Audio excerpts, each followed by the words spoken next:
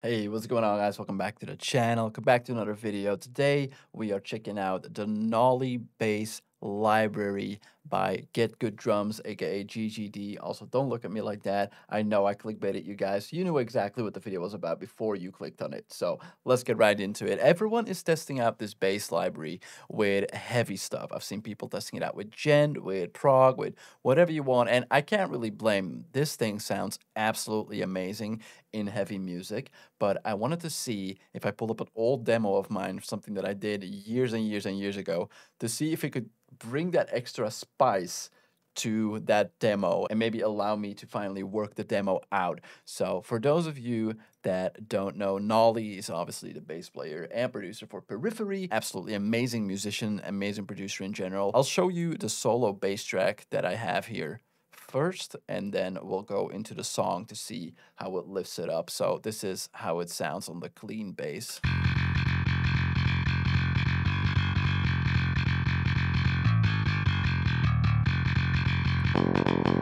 Have the DI.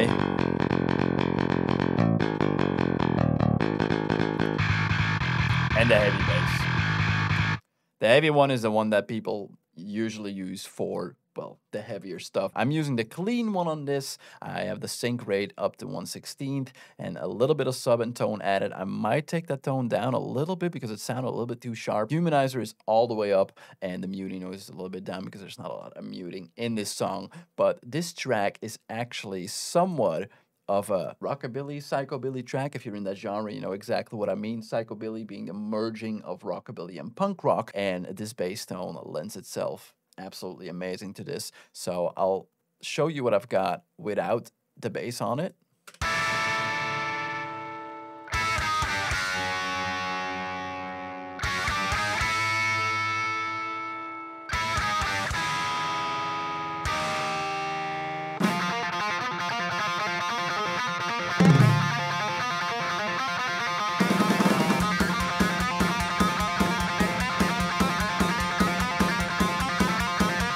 One thing that you immediately notice is psychobilly, rockabilly, all that type of stuff. The guitars are very sharp. They're very penetrating in the mix. You need something to compensate for that. Obviously, there goes a lot of EQ into that. Make sure that it's not bursting out your eardrums. All the tracks on this don't have EQ whatsoever. Again, this is a raw demo, but let's listen to that again with the bass added.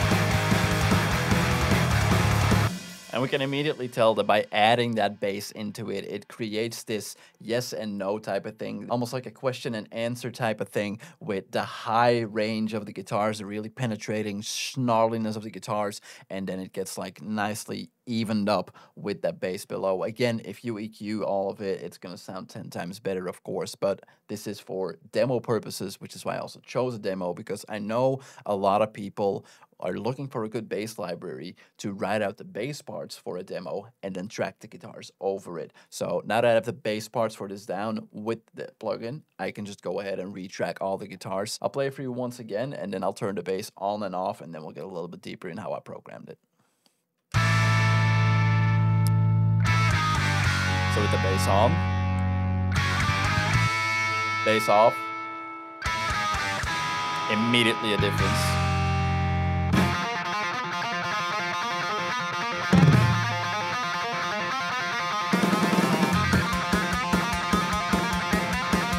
Bass off. And back on.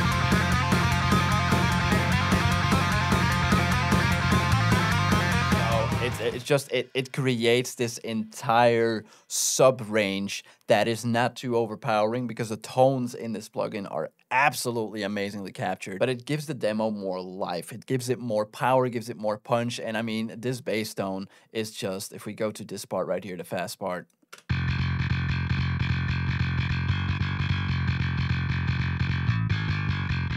It sounds absolutely massive. Now, if we go into the settings of the plugin, there's a lot that you can do with this. So we have your random UI that pops up like this where you can do the sub. I'll loop the part for you and then we'll change some settings while we listen to it. So take the sub away, sounds very sharp. Give it some more sub. Take the tone away, sharpness goes away.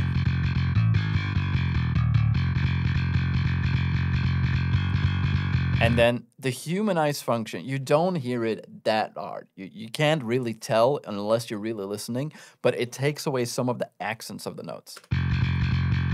We turn it back up.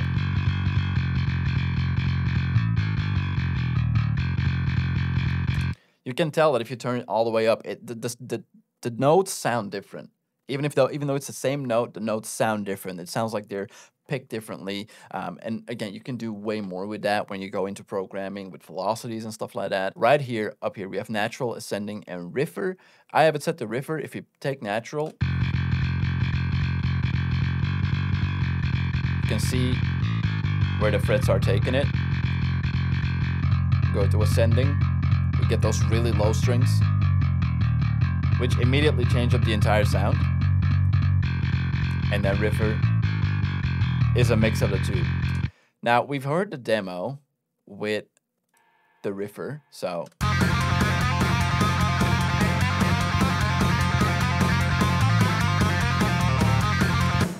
If I put it on ascending, way more body to it.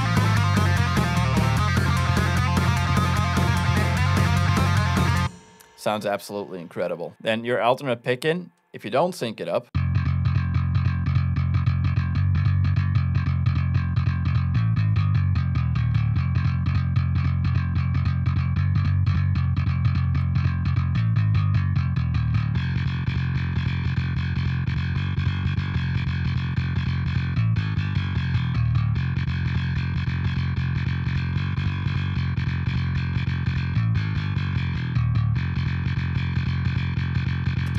You hear the difference when I switch from free to sync? Do it again. Listen to how the notes are picked. Then we'll go to free.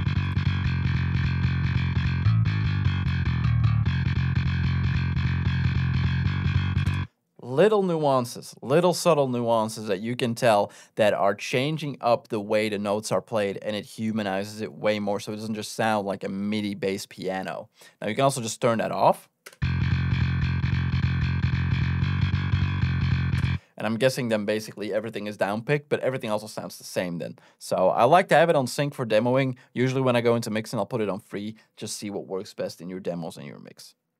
Then into the settings right here. This is something that I think is really cool. So it's a six string bass that this plugin is made with. Let's take the riff that we have, which is in drop C. And let's go into the MIDI transpose.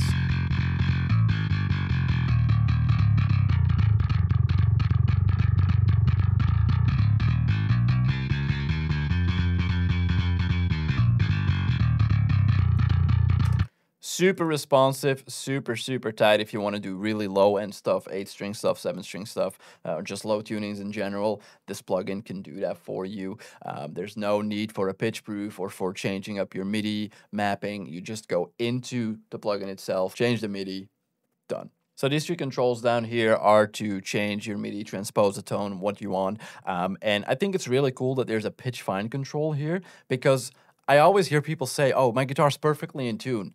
It's not. There's not a single guitar in the world that is perfectly in tune throughout an entire song, which is why we record in sections and retune every time we record a single riff. If we want to humanize it, I like to do it, especially with stuff like this, psychobilly punk rock, that needs to be raw. It has to have that human feeling. It's not as polished and as programmed as Djent. So I like to play around with the fine pitch, literally this control pitch fine, says right here, and just tweak it a few cents here and there and it just humanizes the entire thing because nothing is ever perfectly in tune, especially with things like punk rock, psychobilly, hardcore, stuff like that. Things can be perfect. They cannot be computer perfect. And it's super cool to do that. Now over here, our velocity curve, this is basically what it says. It adjusts the velocity. So if I play the track, now pull it down. The pick attack is not as present as it was when we started listening. If I reset that, you can tell it's very, very harsh. And then if you turn it all the way up,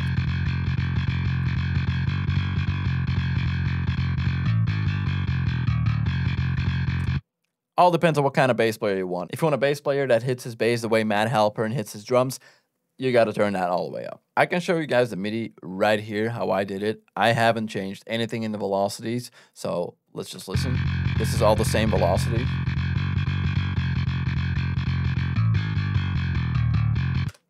Now, if I change that around,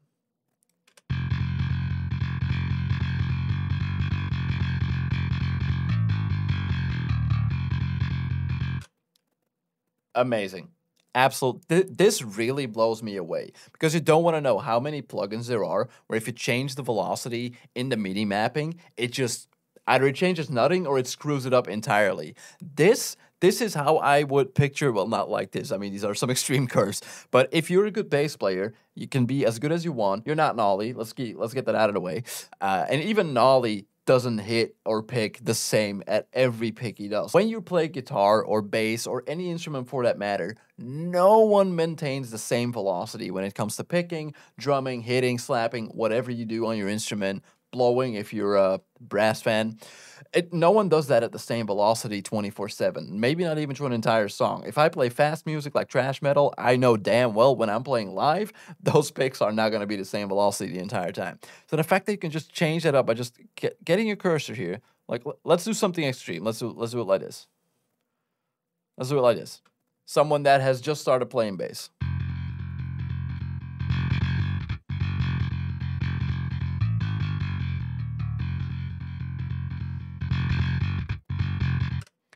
And this is something that I discovered earlier today and I think is really cool. If we take a look at this section right here, when you take the velocity down, it sounds like a da da da da, like we do a lot in Djent. There's not many plugins out there that make that sound so good. But if we humanize it a little bit, let's see.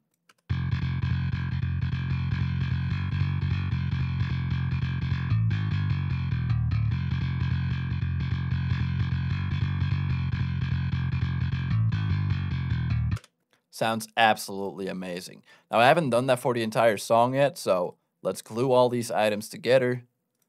Ba ba boom, there we go. And then what we're doing, just to make it simple, ba. Please don't do this in your mixes the way that I'm doing it right now. This is just to show off the plugin. So now we've taken the entire track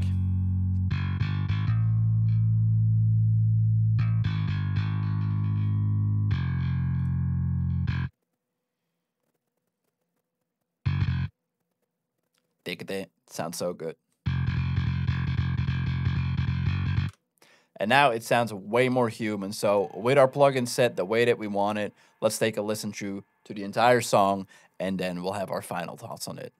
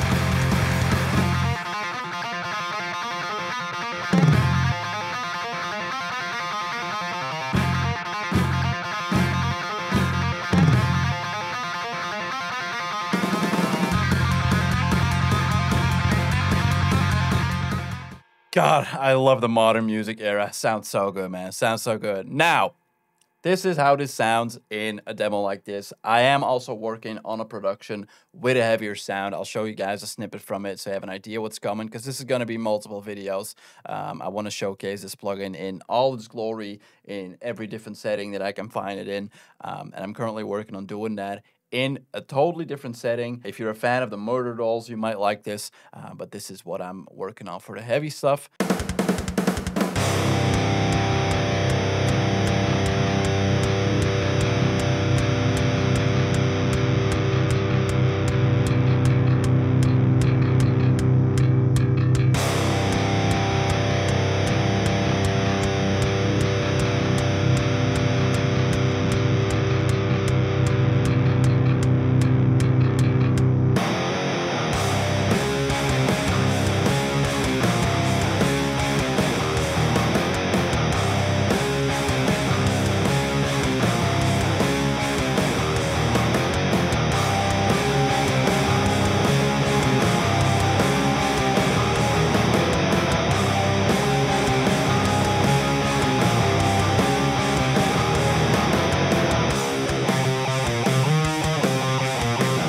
There you can tell I haven't finished programming the bass yet. It, it's such a difference, such a big difference.